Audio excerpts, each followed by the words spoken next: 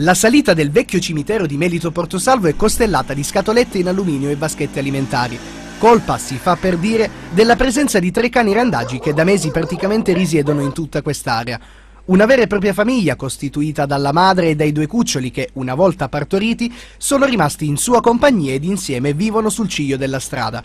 Ma il problema non sono i cani assolutamente docili ed anzi fin troppo spaventati dalle nostre telecamere tanto da rifugiarsi eh, sotto il guardrail, bensì sia la condizione igienico-sanitaria creata dalla benemerenza di coloro che li nutrono lasciando sul ciglio della strada le scatolette di cibo per cani, sia quella degli stessi animali, pieni di zecche ed esposti a possibili malattie date dal randagismo.